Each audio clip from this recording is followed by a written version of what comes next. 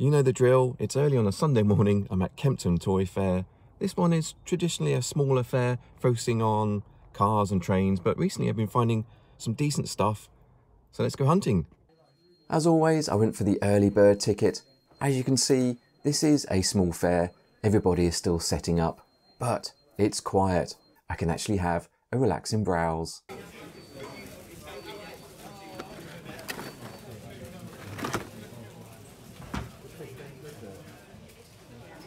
Rob's stall is always full of vintage goodness.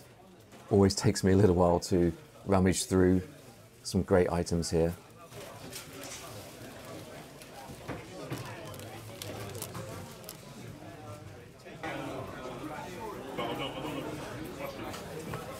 And I don't think I've ever seen such a large selection of Marvel X-Men carded figures there.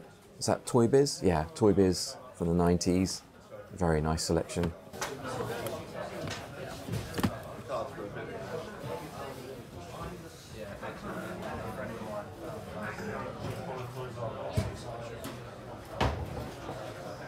And this carded real Ghostbusters Dracula figure, that caught my eye as well. Very nice.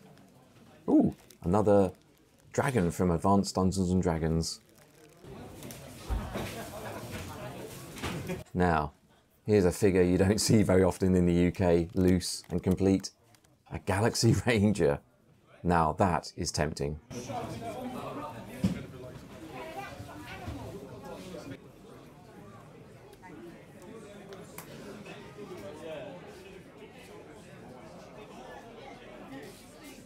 Guys. Hey, buddy. Going, you alright? Yeah, good, good, good.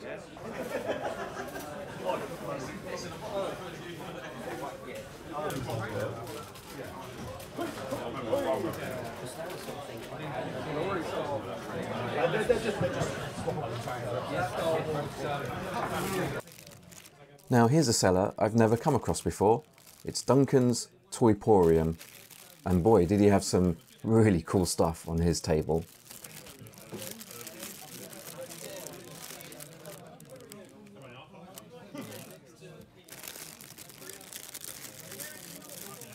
Duncan's stall had pretty much all my favourite toy lines. We've got Karate Kid, we have Rambo, we have Centurions, even Sectaurs. It's alright if I just have a look through, yeah, yeah, see that.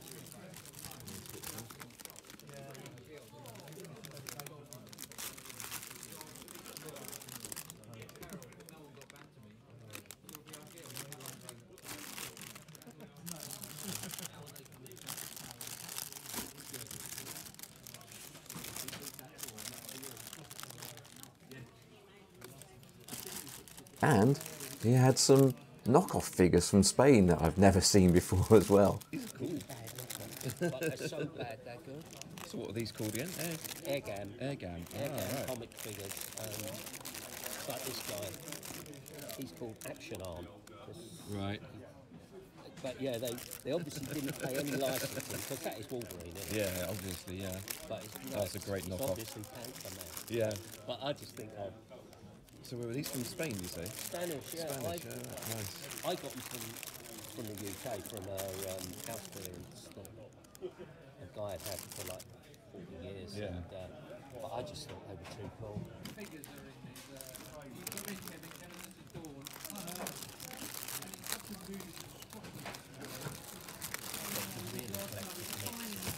Yeah, you've got some great stuff on this store. Now, you may not be aware, but I have recently started collecting advanced Dungeons and Dragons from LJN. I'm going to blame Derby collector Steve. He showed me his collection recently and I've got the bug now. So, to my surprise, Duncan had a whole host of Dungeons and Dragons figures, a lot of them complete. So, these are very, very tempting indeed.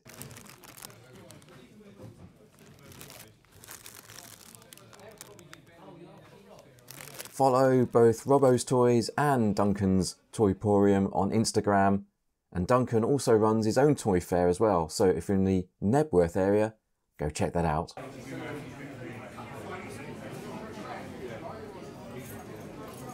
Not another General Madine. He's definitely following me around at these fairs.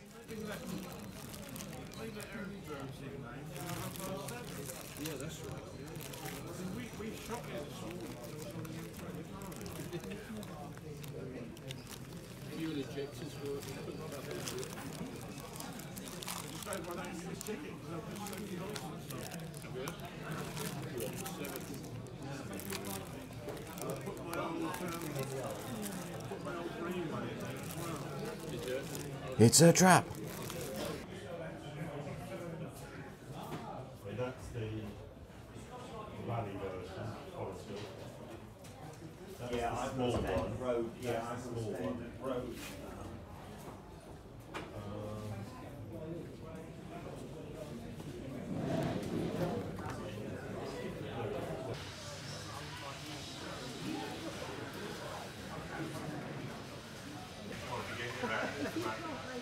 I've been very surprised by Kempton Toy Fair today.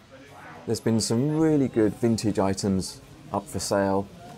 I've had a great chat with loads of people, including the Toy Division boys, and I've actually managed to find some nice pieces. So let's head home and take a look. The first thing I picked up today was this a double VHS mask collection in this rather cool looking box. Never seen this before.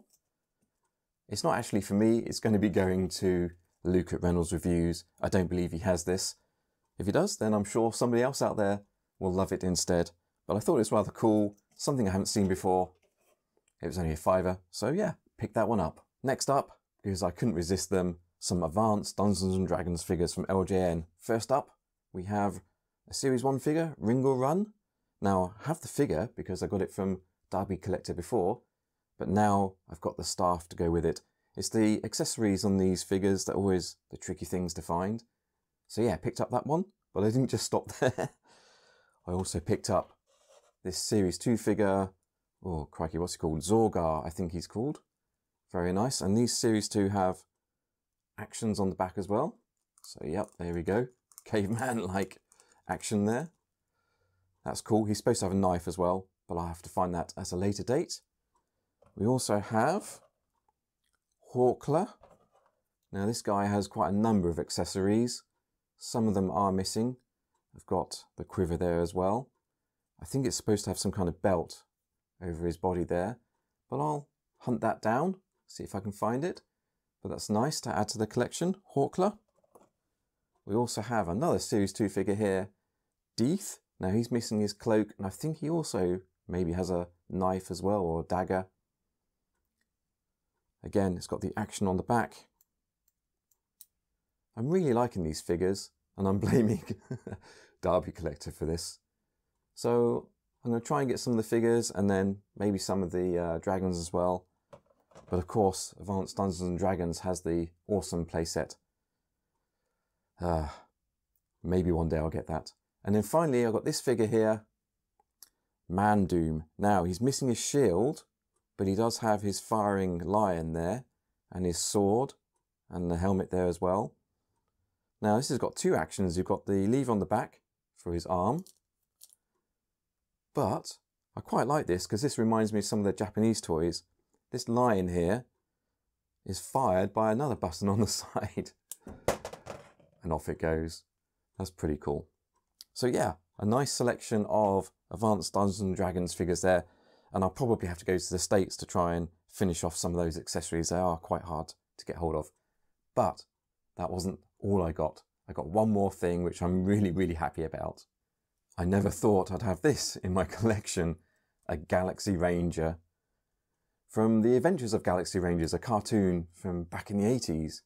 And this is Goose or Gooseman. Ah, so cool.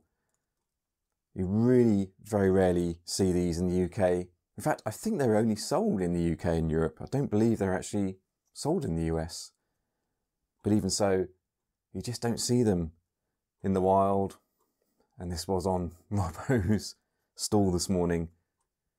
I thought about it, not for long, and pulled the trigger. no pun intended. And you don't see them complete either very often. And we have his Stetson, very nice. We have his gun there, and we also have the badge that you could wear. That's cool. Yeah, this is such a cool figure. It's going to look so, so amazing next to my BraveStarr figures as well. It does have an action. You can pull the arm back like so. It's got a leaf on the back. And then we've got quick draw like that. I think there's, what, four or five other characters in the line? No idea if I'll ever have those. Who knows? Can always hope. But for now, I'm really happy to find this at Kempton, of all places. Wow, you never know. You never know what you find on your toy hunts. Well, that was a very successful toy hunt at Kempton today, and it was great to meet everyone as well. That's all part of the fun. I know I haven't put many restoration videos out recently, but I've got a few in the pipeline, and I just want to say thanks for all your support on the channel. All I've got left to say is stay safe, everyone, and cheers. Thank you for staying till the end. Reward yourself with another VTR classic, or just leave a comment, like, and subscribe. Until next time, stay safe and cheers.